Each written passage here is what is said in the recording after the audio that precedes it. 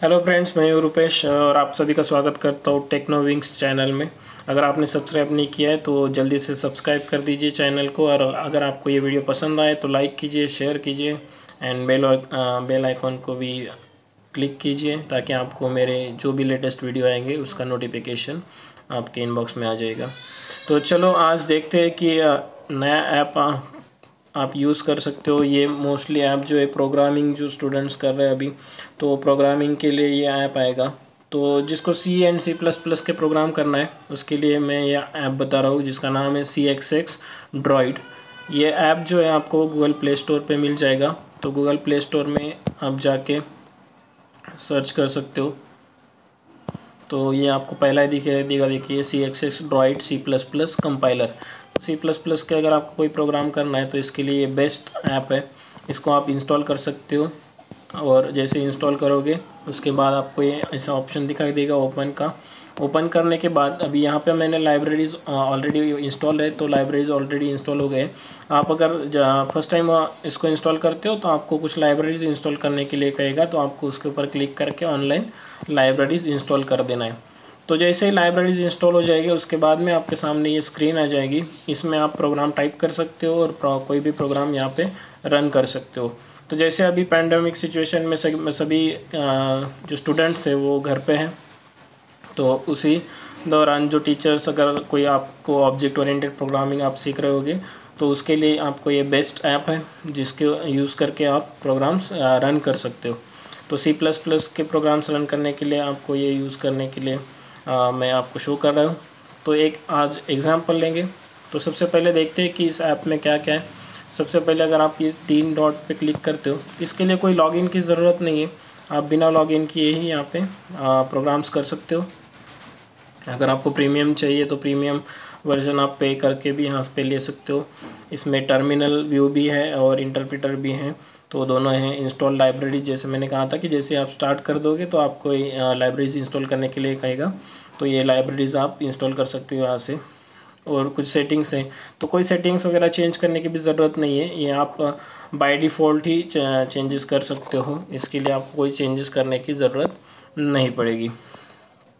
तो इसके बाद ये कुछ ऑप्शन है यहाँ पे new file open save save as close recent file and upgrade project अगर आप प्रोजेक्ट क्रिएट करते हो तो एक फोल्डर के अंदर आपके सभी फाइल्स वहाँ पे स्टोर हो जाएँगे।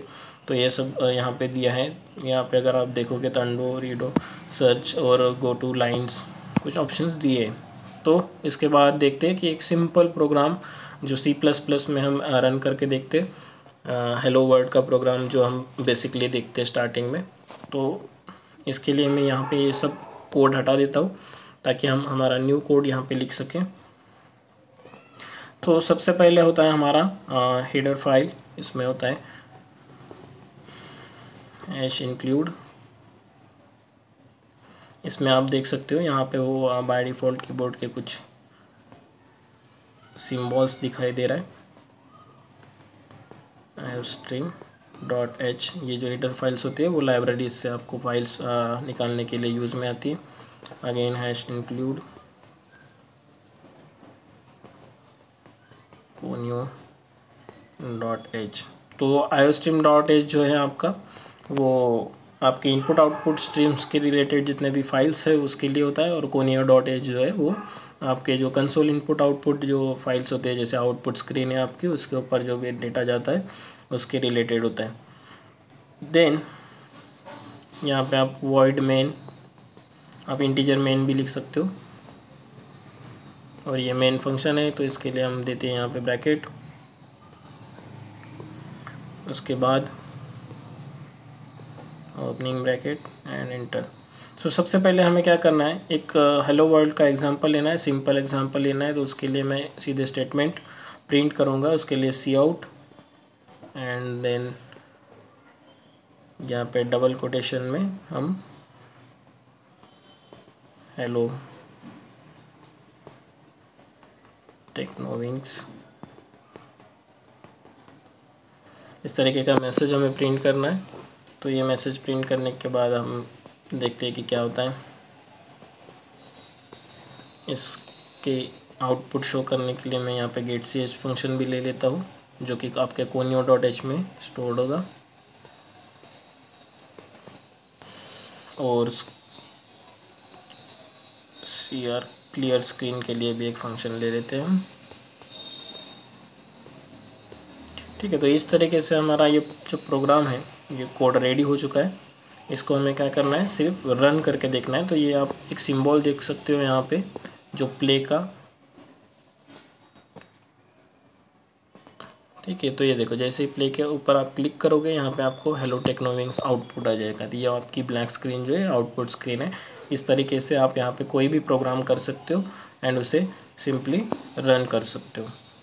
तो ये है आपका, अगर आपको इसको सेव करना है तो आप इसको सेव कर सकते हो। सेव करने के लिए आपको आपकी फ़ाइल लोकेशन अलाउ करना पड़ेगा। इंटरनल स्टोरेज में आप कोई भी यहाँ पे एक फोल्डर क्रिएट कर सकते हो, जैसे मैं यहाँ पे कर देता हूँ folder create C P P programming sorry यहाँ पे फोल्डर का नेम देता हूँ मैं. सी पी पी प्रोग्राम ठीक है तो ये मैंने क्रिएट कर दिया है. इसके अंदर आप इसको सिलेक्ट कर सकते हो. एंड फ़ाइल को भी आप नाम दे सकते हो. जैसे मैंने दे दिया है बेसिक सी एक्स एक्स या सी पी पी ठीक है तो ये आप सेव कर सकते हो. तो इस तरीके से सेव करके अगर आप प्रोग्राम को रन करते हो तो आपको ये आउटपुट आ जाएगा। तो इसी तरीके से आप, अगर मैंने जैसे कहा था प्रीमियम प्लान है अगर, आप तो इसको यूज़ करके आप प्रोजेक्ट बना सकते हो इसके ऊपर। इसका अगर आपको परचेस करना है तो फॉर एवर परचेस के लिए eight twenty rupees once for lifetime access है प्रीमियम फ्यूचर का। अगर आपको टू वीक्स ट्रायल वर्जन चाहिए तो sixty five rupees per month तो इस तरीके से आपको चार्जेस लगेंगे। टू वीक्स आपको फ्री रहेगा एंड उसके बाद monthly sixty five rupees cut होगे। तो इस तरीके से आप प्रीमियम जो है वो भी ले सकते हो। पर कोई ज़रूरत नहीं है, अगर आपको सिंपल प्रोग्रामिंग अगर सीखना है तो इसके लिए आप फ्री वर्जन के लिए ही आप ले सकते हो। और अगर आपको प्रोजेक्ट्स बनाना है इसके ऊपर तो आप प्रीमियम वर्जन ले सकते हो। तो अगर आपको ये वीडियो पसंद आए तो लाइक कीजिए शेयर कीजिए सब्सक्राइब कीजिए। एंड बेल आइकॉन प्रेस कीजिए ताकि मेरे नए लेटेस्ट वीडियोस जो भी आएँगे उसको आप अपडेट कर सकते हो। Thank you so much